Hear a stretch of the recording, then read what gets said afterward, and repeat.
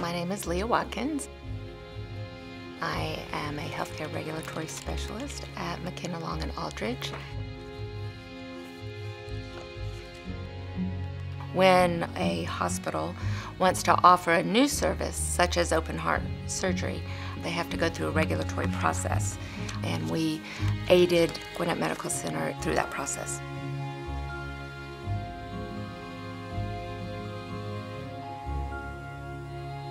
There was a population of over a million people who don't have access within 30 minutes of an open heart surgery service.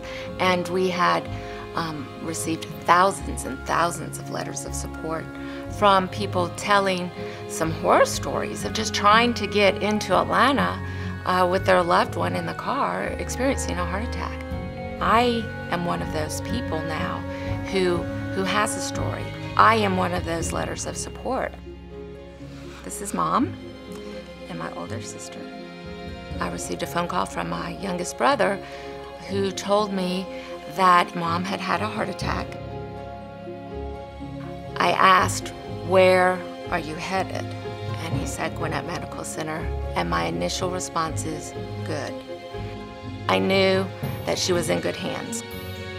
Mom's a lively, spunky woman, and she bounced back and basically her life was saved and, and, and the quality of her, her future life. Gwinnett Medical Center saved my mother.